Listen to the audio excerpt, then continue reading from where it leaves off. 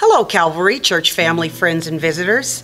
I invite every young girl, youth, millennial, young adult, baby boomer, and seasoned saint next door to Calvary Senior Housing at 160 60 Claude Avenue on Saturday, December 10th from 10 a.m. to 12 noon for the Women's Bible Study.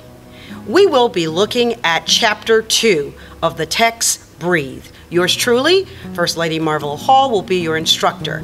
We will be learning and also being reminded not to be so busy, especially during this holiday season, that we don't slow down to breathe so God can speak to us and so that we can hear Him.